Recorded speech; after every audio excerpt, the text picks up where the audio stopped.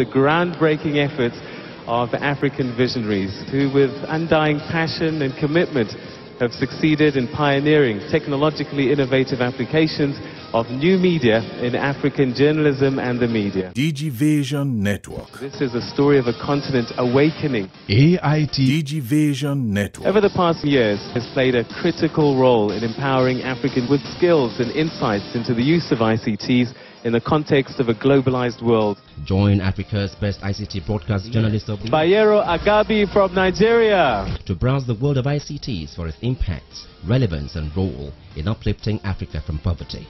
For details, log on to www.digivationnetwork.com or better still, reach AIT Lagos and Abuja.